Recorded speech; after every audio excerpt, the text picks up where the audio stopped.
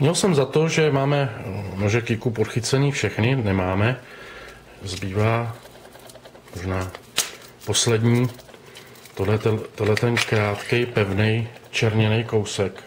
Ono jich možná bude ještě víc. Ty černěný se tolik neprodávají, ačkoliv to nevypadá špatně. Já jsem proti černění čepelí, pokud to není takovejhle nůž. U toho sogu to černění vždycky tak nějak sedne.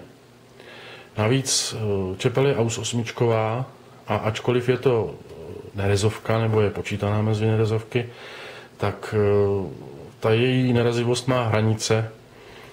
Stačí jenom čerstvá šťáva z, ze stromu nebo z ovoce nebo ze zeleniny a ta liška si cestu najde na čepel.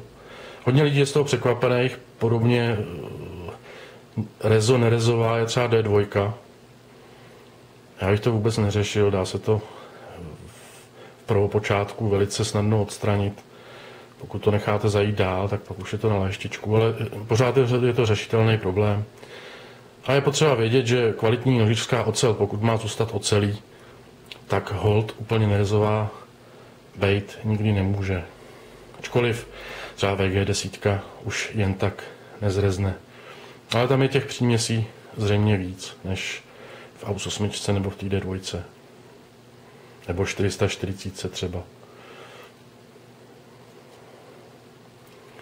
Zpátky k noži Kiku, už jsme si toho tady o něm řekli dost. Je to takový spíš bojový model než, než pracovní, ale použít se dá univerzálně.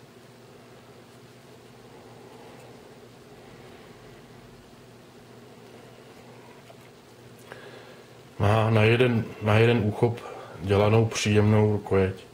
A jestli moc nepřeťápnete na této rukojeti, ale ten jeden úchop je udělaný tak dobře, že by měl vystačit na všechny potřebné úkony.